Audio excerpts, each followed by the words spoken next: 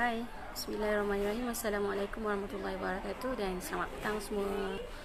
Okay So pelik sikit Medium punya tempat hari ni Sebab hari ni Medium berjalan-jalan Di Johor Bahru. So cuba teka Medium ada kat mana? Siapa pandai? Dia memang terror lah. Memang selalu datang kat sini. Okay So Medium tak nak ambil masa Sebab sekejap uh, Tak nak Apa tu Ambil masa yang lama. Kerana Apa nama ni Hampir maghrib.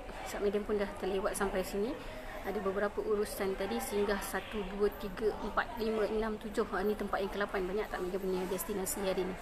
Okay, so apa yang Media nak share hari ni? Media nak share bukan tentang cukai. Media nak share hari ni tentang urus gaji. Kenapa Media tak nak share tentang cukai? Sebab sebenarnya dah habis dah Media share tentang cukai. Cuma tinggal Media nak tunjukkan simulasi. Tapi simulasi tu Media kena buat live menggunakan laptop. Tak boleh guna handphone So Madam punya laptop masih lagi tengah setting Tak boleh nak install OBS So tunggulah eh. Sampai Madam boleh buat uh, Madam akan sambung tentang cukai tu lagi. Tak buat simulasi macam mana nak isi borang-borang cukai tu semua. Especially borang B yang akan tamat pada 31 Ogos. Lagi sebulan je lebih kurang. Okay, uh, insyaAllah Madam akan bantulah. Okay, so hari ni Madam akan share tentang buku Formula Urus Gaji. Siapa yang buat buku ni? Ha, Penulis dia ada kat depan tu. Mak Jerong Ataupun Puan Iza Yusof. Ni mentor kewangan modern lah. Okay So Kenapa you all kena miliki buku ni Ataupun you all kena tahu Apa isi dalam buku ni? Okay Kerana Okay so itu yang Medium akan share lah. Ada enam persoalan yang menyebabkan Apa ni You kena jawab. Sama ada apa Apa sebenarnya jawapan korang dalam enam persoalan tu Ha, itu yang menentukan sama ada korang perlu atau tidak formula urus gaji ni. Okey. Oleh kerana semalam gaji gomen. Ha, so gaji gomen kalau semalam gaji apa ni? Gaji swasta pun bakal menyusul. Okey, kita tengok. Kenapa kena ada formula urus gaji ni? Soalan yang pertama. Okey, bergegar sikit. Berapakah nilai wang kecemasan anda? Okey, berapa nilai wang kecemasan anda? Ada tak ke- wang kecemasan? Apa tu wang kecemasan? Okey. Okay, wang kecemasan actually kita perlu ada at least 6 bulan uh, apa ni wang 6 bulan gaji eh. Contohnya kalau gaji 3000 sebulan 6 kali 3 berapa? 18000 mesti ada dalam akaun simpanan sama ada ASB ataupun tabung haji lah. So sekarang ni persoalan ni ada tak? Kalau ada cukup tak? At least 6 bulan tu. Okay statistik menunjukkan 59 rakyat Malaysia tiada simpanan wang at least seribu ringgit. Okay. Ni adalah statistik eh. Okay. So, adakah kita salah seorang daripada statistik 59% tersebut? Okay. Wang kecemasan minimum pula waktu medium tengah FB live. Sorry, sorry. Okay. So, At least tadi Medium kata 6 bulan kan Tapi dalam buku ni MJ kata Kalau tak cukup 6 bulan 3 bulan pun boleh Okay Tapi 3 bulan pun tak cukup. So kalau kita tengok sekarang ni PKP berapa? Yang berapa bulan yang kita dapat Moratorium? 6 bulan kan? Ha, So actually sebenarnya 6 bulan Adalah tempoh yang Cantik lah untuk ada wang kecemasan. Lebih lagi bagus. Kurang tu diga- kurang tu tak digalakkan. Okay itu persoalan yang pertama eh. Persoalan yang kedua berapakah nilai hutang-hutang anda? Okay.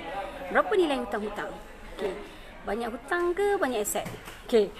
Statistik menunjukkan 70% daripada pemegang kad kredit hanya membayar 5%.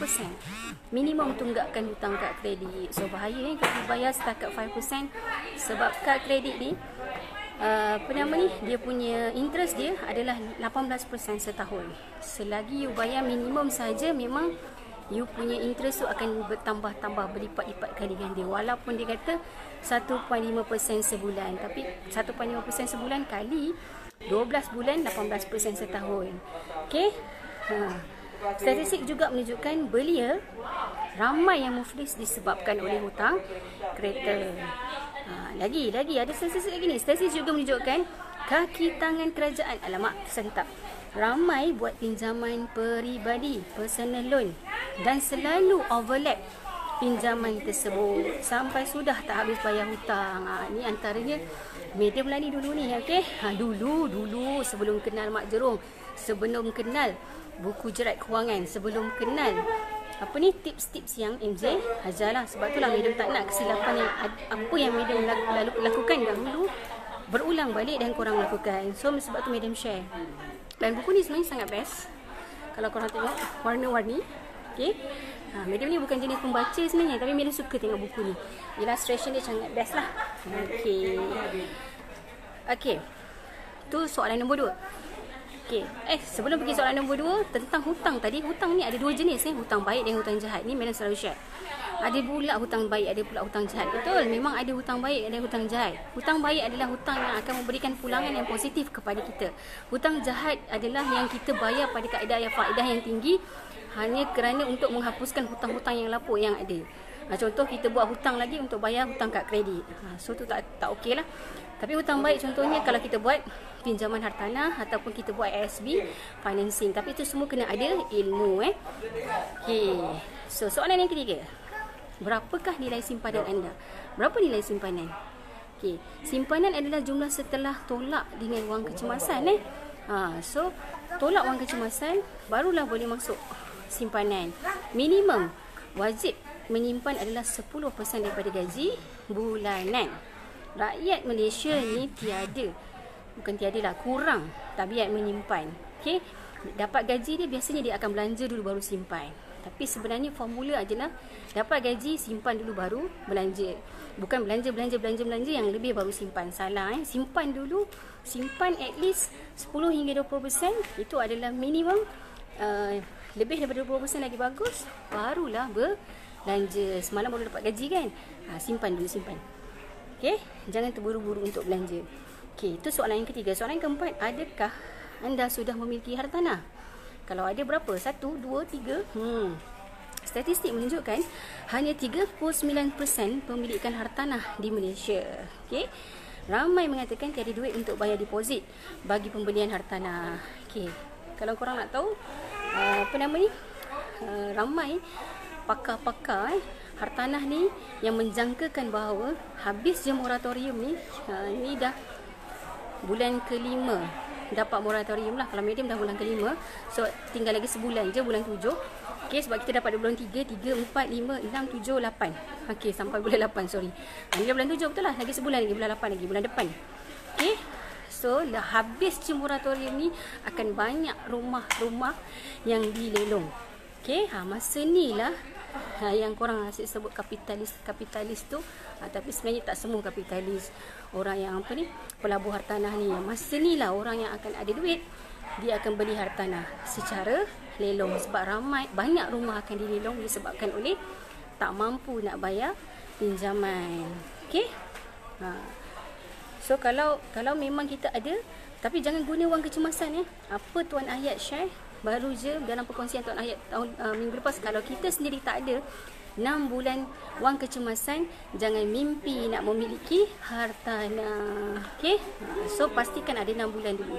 Wang kecemasan barulah boleh fikir untuk kita melabur dalam hartanah. Okey.